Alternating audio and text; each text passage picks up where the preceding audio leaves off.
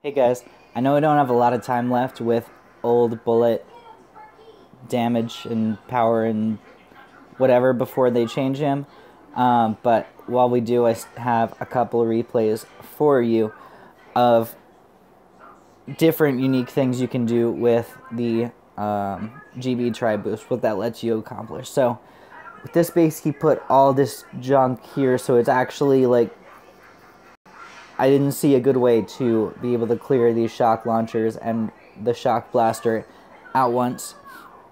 So instead, I decided to take some creative liberties and try something I hadn't actually tried before. And hit the front machine gun and the shock blaster and not get that shock launcher at all. And since he put it so far back to try to block me, I could take it out from behind, uh, which was interesting, and I'm glad it worked out so well. So, one big thing this mortar is going to be out of range of Bullit. You're not going to get this rocket right away. You have to be really careful with all that stuff. Um, so I already tagged the shock launcher. Let the mortar fire because it was in range once, but then shocked it because it would be in range of the Zookas after that.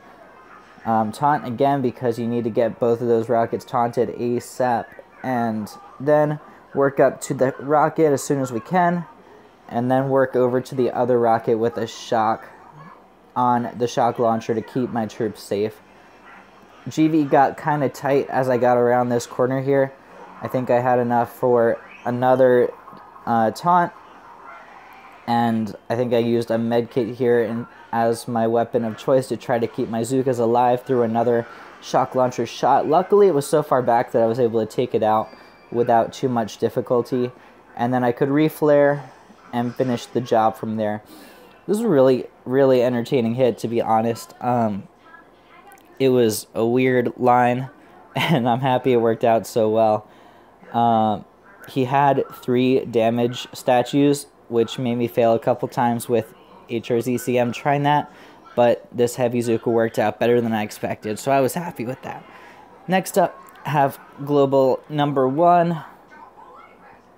He's had this layout for a while, so I'm sure you guys have figured this out or something out by now.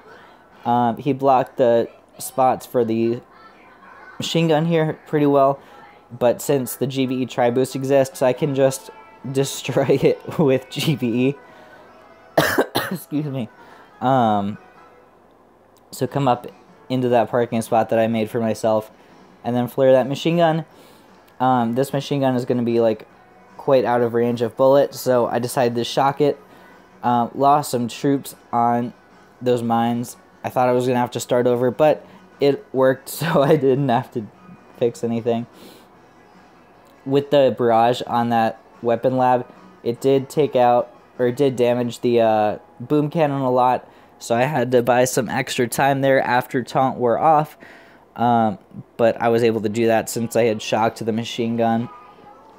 Um, that bought me enough time to get the shock blaster just about down and then already to finish it off. Uh, at the end of that, when I got back here, I have to distract that mortar in some form. I don't think I honestly needed the critter box if I really was trying to push it, but I wasn't sure how my troops were going to spread, so I threw it to be safe. Um, once that mortar is down, you can shock the shock launcher and flare over. I was really late on dealing with that and got some Zookas killed.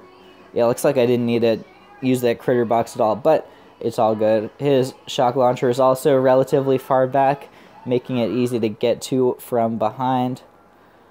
I didn't have to really reflare anything. I just used another taunt when the shock wore off, and that got me enough time to take down the shock launcher, then I reflared to the back, and my troops were able to finish off that boom cannon. And at that point, we were good to go. This was also a pretty interesting attack, I thought, because I was clearing that that uh, parking spot, and because he has his HQ so far back um, relative to these splash damage buildings up front, it was hard to get all that stuff done. But it was really worked out well. I was happy about it and second try, I think. The first try, I just like ate it on the beach with all those mines. So, hope you guys enjoyed these two replays, um, and I hope that this isn't completely irrelevant when the balance update comes. Uh, until next time, my name is Ryan. This is the PSC Life Happy Booming.